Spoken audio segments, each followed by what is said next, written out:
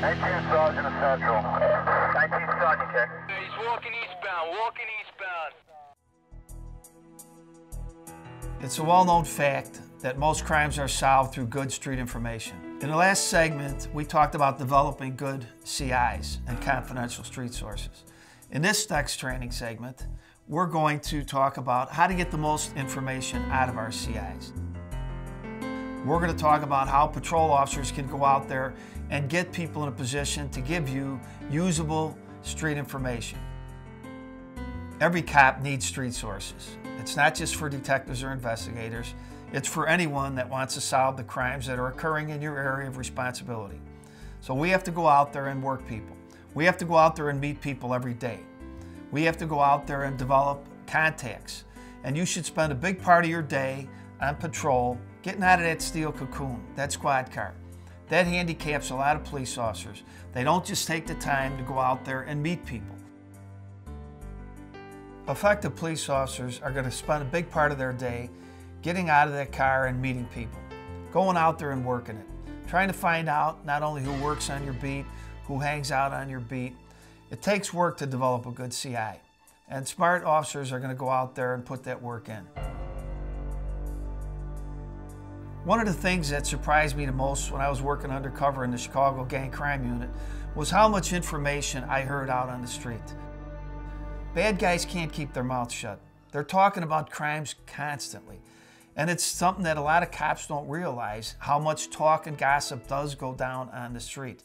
And if you don't have contacts, if you don't have people that you can reach out to to get some of that information, you're just going to not know what's going on. You could look out that squad car window forever and you're never going to figure out what's happening. The only way you're really going to be able to get good street contacts is to get out there and meet them, talk to them, work them, let them know who you are, get to know who they are. I literally sat with two guys one time that were talking about who killed the guy. And they were actually arguing about it. It was my nine that took them down. No, it was my nine. There's only two types of criminals that I've worked with in my career that don't talk much about what they do. One is pedophiles, unless they're dealing with another pedophile. The other one is serial killers. Serial killers aren't going to go out there and talk or brag about how many people they whacked. But the reality of it is, most other criminals can't keep their mouths shut. We only deal with a small percentage of bad guys. Everybody in the neighborhood we're patrolling, no matter where you're patrolling, whether it's a big city or small town, is not a criminal. Only a very small percentage of those people are committing crimes. And especially in today's environment, letting people know who you are, letting people know that you're out there working the job, doing your patrol duties, doing what you're supposed to be doing, and that's protecting the community. You want to be able to go out there and make friends, make contacts. And the more contacts you have, the more information you're going to be able to get from the street. A lot of patrol officers might not realize that they need street sources and confidential informants. There is a difference. A lot of uh, departments and agencies sign up their confidential informants or they take a lot of valuable information. They'll fingerprint them, photograph them, document them, give them a number.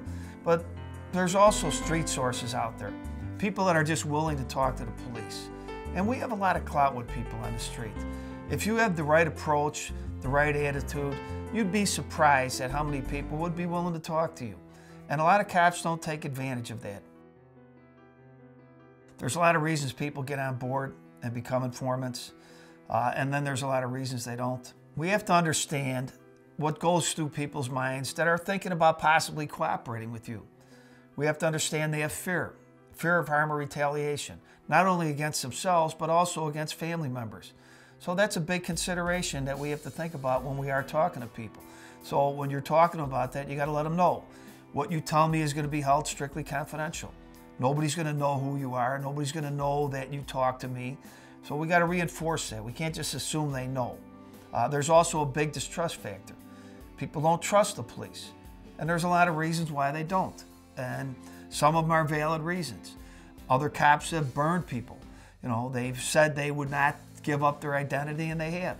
So just as we size up everybody we deal with, people are sizing us up also. They're making judgments on, can I trust this cop?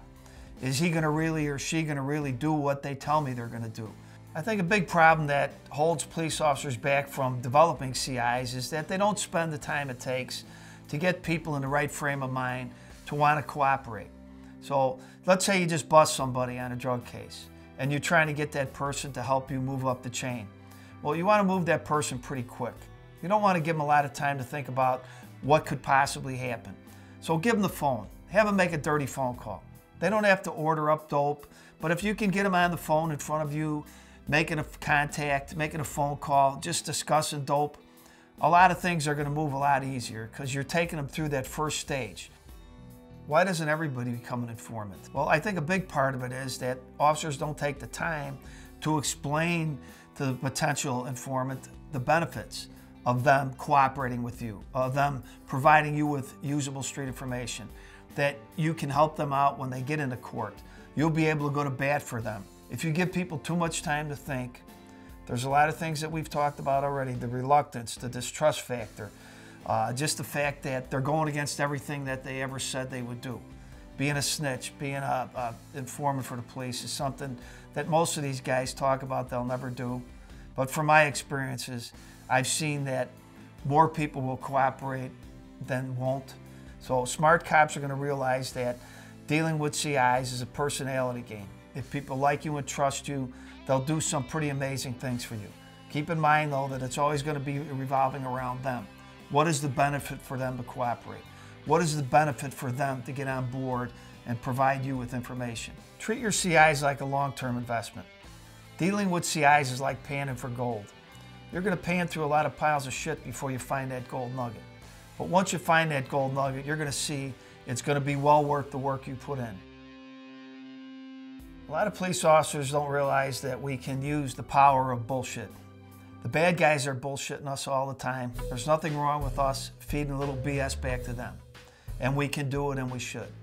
The bottom line is cops can be very creative when they're dealing with the bad guys. Most people, when they're initially arrested, are going to be very racked. They're going to be very scared. They're going to be thinking about a lot of things. They're going to be thinking about their girlfriends. They're going to be thinking about their families. They're going to be thinking about their future. And this is the time we want to get them on board. This is the time we want to rock them when they're nervous, when they're scared, that's when they're most susceptible to getting on board and cooperating with us. One of the techniques that I used to use all the time was called planting landmines. Planting landmines is just a little trick we use on the bad guys to make them believe that they might be in the sights of a federal prosecutor. I would tell them that I was at a meeting the other day with the Federal Strike Force. And this is a group of federal agents that travel around the state looking to pick up local cases. And I think this is the kind of case that they would key in on to charge with RICO. And RICO is the Racketeering Influenced and Corrupt Organizations Act. It was an act that was put in place in 1970 to fight organized crime, the mafia, but local cops have now realized that it's a great tool to use on gang and drug investigations and also on other criminals. So I would plant that seed in their head that the feds are looking. If you want to deal with me, that's fine. If you want to cooperate with me, and talk with me, fine. If not, I'll call in the local strike force. The feds will be all over this case, and you're going to get a lot more time than you would in state court. An extremely important part of dealing with CIs is staying in control. You have to make sure that you know everything they're doing, make sure that they're not doing anything they're not supposed to do. Because I've seen a lot of good cops do a lot of great police work only to get torn down by some of the things they did with their CIs. You've got to keep in mind that you don't ever trust your CI completely. Don't ever do anything with a CI that you can't stand having repeated in open court. Always make sure that you double check everything your CI is telling you. You want to make sure that you verify that. Whenever you deal with a CI and things go wrong, you're always going to be under the spotlight. And whenever anybody's put under the intense spotlight of scrutiny, they're going to start looking at everything you did. Everybody's going to have wrinkles. And everybody loves you when things go good. When things go bad, it's going to be a whole different story. It was his CI that gave us the information. It was her CI that told us about that house. So we always have to verify and double check. Whenever you use a CI to put a case together, no matter what type of case it is, when you get into court, defense attorneys are going to take a very close look at what you did. They're going to examine everything you did with that CI. Defense attorneys are always going to look for the entrapment issue. How far did your CI go? Uh, were they still within the guidelines of your agency? and with the guidelines of what they are allowed to do and not to do. So, with dealing with CIs is such an important issue that you got to make sure that you do it right. You don't want that CI lying to you. So, a good way to prevent that is always ask for information you already know the answer to. And if they lie to you, call them on it. Don't be afraid to put your finger right in their face and say that's BS and you know it's BS. When you're bullshitting me, you're bullshitting a lot of other people besides just me. You're going to have a judge mad at you. You're going to have a prosecutor mad at you. You're going to have a lot of other people mad at you besides just me. So it's very important that we emphasize when we are dealing with CIs, we always want the truth and we're going to insist on that. I'm a big believer in having your notebook with you when you are debriefing your CIs because I'm going to tell you right now, if you don't write down what they tell you, you're not going to be able to check on the accuracy of what they've told you in previous meetings. Dealing with CIs, a lot of them are going to go south on you. You don't want to become a CI for that CI. You don't want to ever give up all your undercover cars. Don't let them see all your undercover officers or surveillance vehicles. Don't ever let them know anybody else that you're working with as a CI unless you absolutely have to.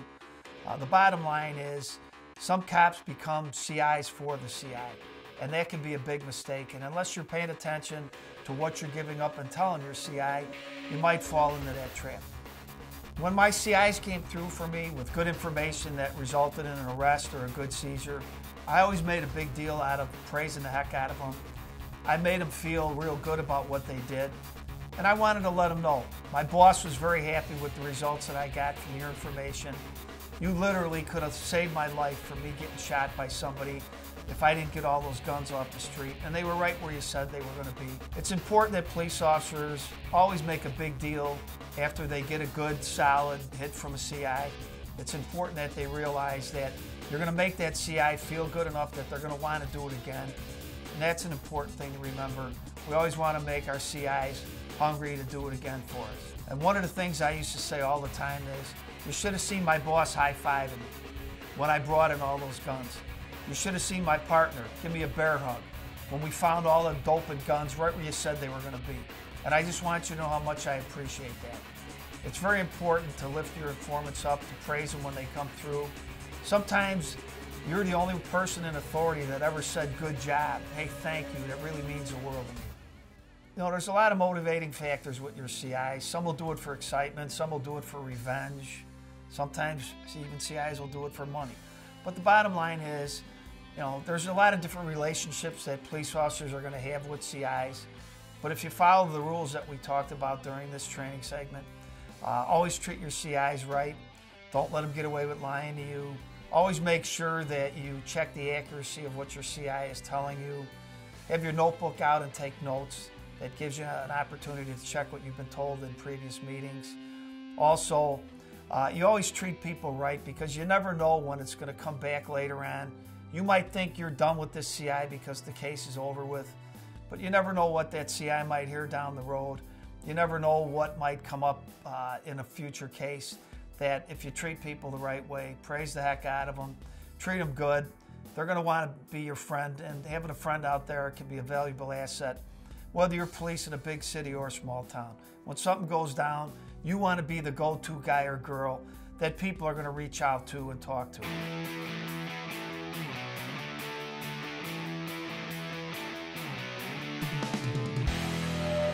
19 Sergeant Central. 19 Sergeant, check.